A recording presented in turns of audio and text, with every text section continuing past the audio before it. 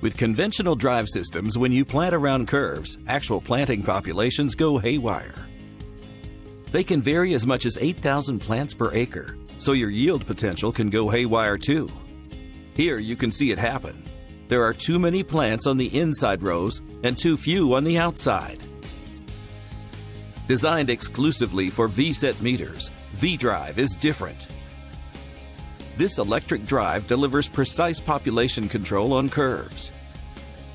When your ground speed changes, and with all variable rate prescriptions. It works because each motor controls each row individually.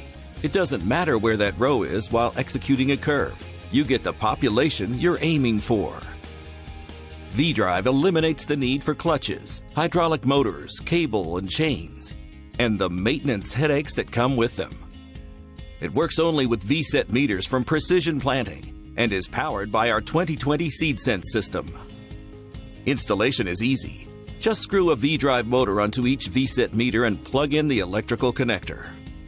It'll turn your John Deere, Kinze, or CNH planter with 1.6 bushel or mini hoppers into a master of population control.